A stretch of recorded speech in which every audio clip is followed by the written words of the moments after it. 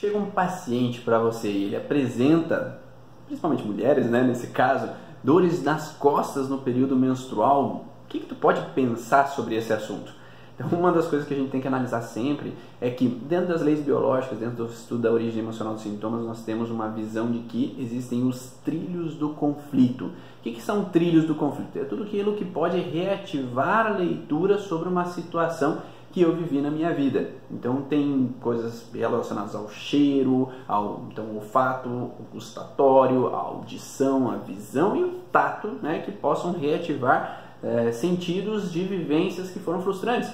Não só frustrantes, como coisas boas também. Às vezes um cheiro pode me lembrar de uma pessoa que eu sinto ah, que foi apaixonante para a minha vida, momentos bons. Um alimento pode levar a provocar então salivação na minha boca, porque lembra aquele gosto da comida da minha avó quando eu via no sítio, quando eu ia na casa dela. Então podem trazer lembranças positivas, mas podem trazer lembranças ruins.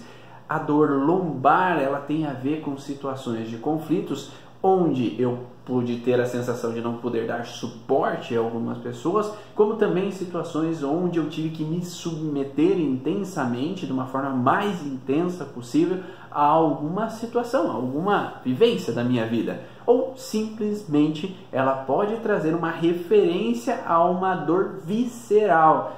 Quem estudou osteopatia sabe que dores viscerais podem desencadear dores referidas na minha região da coluna. Né? Então, às vezes, eu posso ter uma alteração, uma disfunção em útero, uma mulher né, ter uma disfunção em útero, que pode ter uma referência de uma dor lombar. Então, minha esposa, por exemplo, teve uma paciente uma certa vez que ela foi atender com posturologia, ela tinha uma disfunção, uma dor localizada nas costas, e a esposa fez todo o processo de terapia, de, de prática neurosensorial relacionado à dor nas costas, e ela falou, ó, não sei, mas parece que tem alguma disfunção no teu útero aqui. Você já foi no ginecologista, já deu uma olhada sobre isso? E ela falou, ah, eu tenho DIU e tal. E a hora que ela foi fazer a consulta, o DIU tinha deslocado e provocando uma alteração. E assim que retirou o DIU, a dor nas costas dela sumiu. Então, às vezes, eu posso ter uma disfunção visceral que refere-se lá na minha região lombar e aquela pessoa pode desencadear a alteração. Então, se ela tem uma disfunção em útero, por exemplo, cada vez que ela está no processo menstrual, ela pode desencadear uma dor referida na região das costas, mas por uma disfunção uterina. Então, aquela hiperestimulação em útero pode desencadear essa alteração. Mas também a gente pode olhar a questão menstrual como um trilho do conflito, uma releitura de uma vivência que essa pessoa já teve. Então, se ela tem uma disfunção ou uma frustração vinculada a um momento de menstruação na vida dela, que foi incômodo, ou foi indigesto, não foi legal, ela pode desencadear essa dor nas costas. Então, por exemplo, se ela teve que se submeter ao fato de estar menstruada como algo abominável, algo frustrante para ela, cada vez que ela menstrua de novo, ela tem que se submeter àquela situação de estar menstruada. E aí pode gerar talvez aquela dor nessa região, especificamente das costas. Mas eu acho que isso pode ser mais raro de acontecer.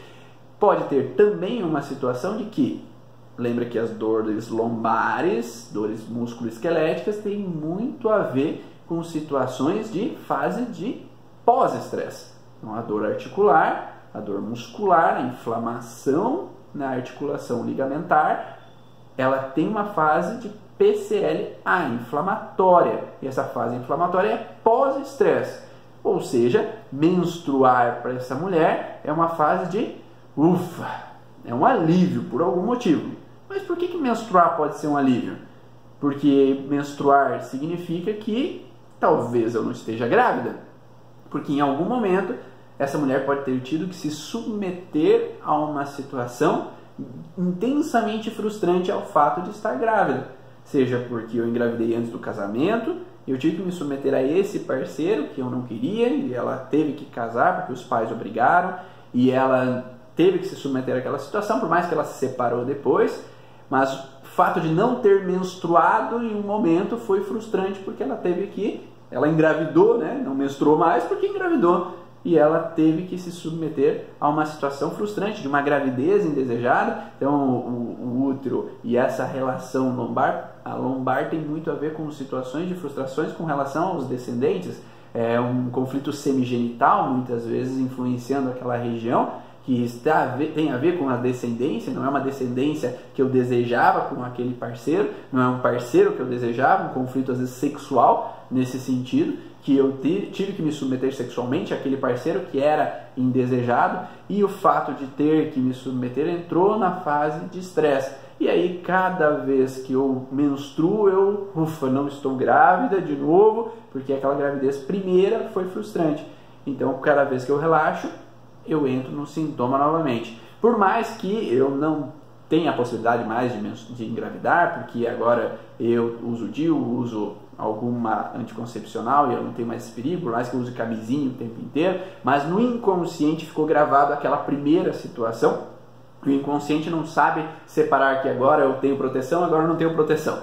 O inconsciente ele gravou o conflito e cada vez que a menstruação vem, ele reativa o conflito anterior vivido ou se aquela mulher possa ter vivido um ato sexual indesejado, principalmente o primeiro ato que não foi agradável e teve um sangramento perante aquele ato, ou teve um abuso anteriormente que teve que se submeter sexualmente a uma ação que foi indesejada por total. E o movimento dessa região de lombar baixa com região sacral é um movimento sexual, é ali que é feito o movimento sexual. Então, quando eu tive uma frustração dessa incapacidade de evitar aquele movimento sexual indesejado que veio vínculo a um sangramento, ela ativa um padrão de leitura de que sangrar remete a uma frustração sexual. E cada vez que ela reativa o sangrar, ela pode reativar no inconsciente a lembrança daquela atitude, por mais que ela não lembre conscientemente.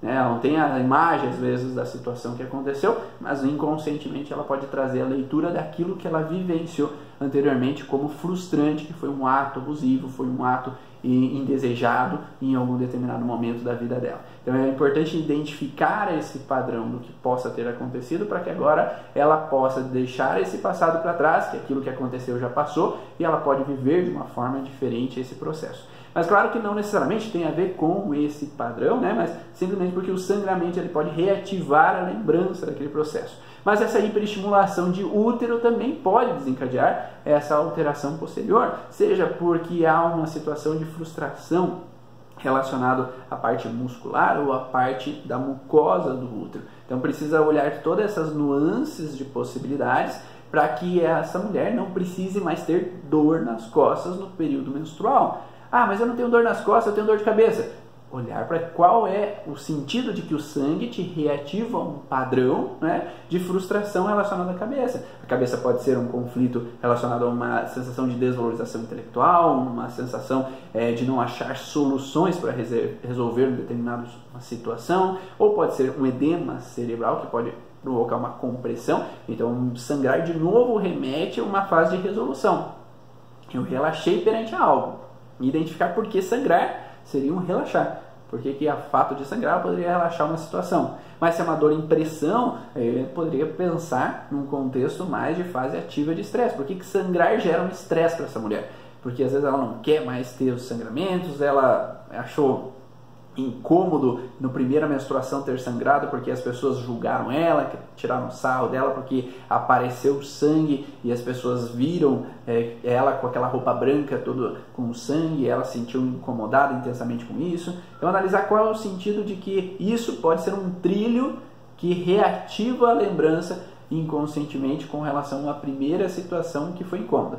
Ah, eu tenho retenção de líquido no período menstrual. Então, olharíamos para um conflito de desabamento da existência. Por que, que menstruar pode ser um desabamento da existência? Porque menstruar eu me sinto abandonada. E lembrando que não necessariamente essa mulher viveu isso na vida dela, ela pode ter trazido no transgeracional. Uma história de uma mulher que engravidou e foi abandonada é, pela família, foi, é, foi abandonada pelos pais porque não aceitaram aquela gravidez indesejada, ou aquele homem que essa mulher tinha, ou uma situação de ser abandonada pelo parceiro. Eu já ouvi muitas hum, histórias de mulheres que é, eram levadas é, para outras cidades para que ninguém saiba que ela está grávida, então é um abandono, um desabamento da existência, é uma situação que ela é levada para um convento para que ela possa ser escondida com relação àquela gravidez, ou mesmo que ela é induzida a provocar um aborto nessa história do transgeracional e isso desaba a existência dela, carrega uma frustração baseado a esse contexto. de